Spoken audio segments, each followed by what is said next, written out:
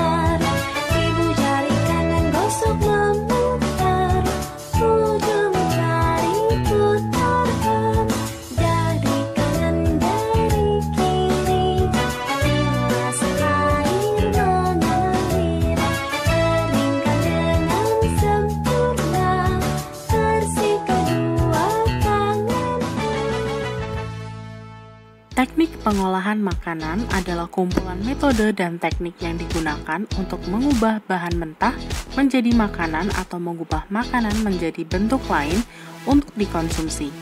Teknik pengolahan makanan ini terbagi menjadi dua. Yang pertama ada teknik pengolahan makanan tanpa menggunakan api atau bara, dan ada juga teknik pengolahan makanan dengan menggunakan api atau bara. Dan kali ini saya akan membuat ayam goreng lengkuas dengan teknik menggoreng. Selanjutnya, kita masuk ke teknik pengolahan makanan tanpa menggunakan api atau bara. Yang pertama yaitu meracik bahan-bahan yang diperlukan untuk membuat ayam goreng lengkuas.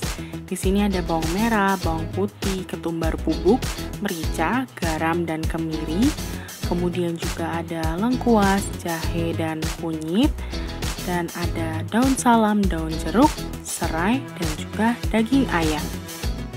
Selanjutnya yaitu membersihkan dengan cara mengupas bahan-bahan yang telah kita racik tadi, lalu kita cuci dengan air mengalir hingga bersih.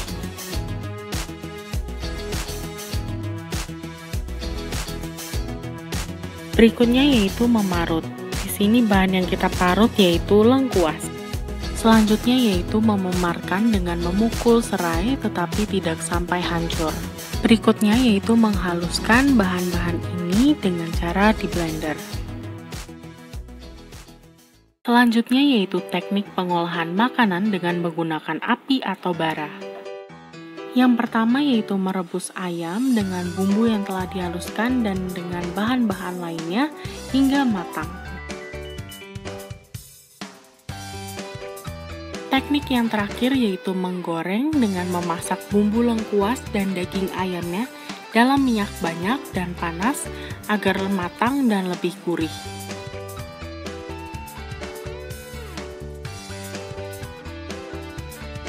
Ini dia ayam goreng lengkuas ala Lauren.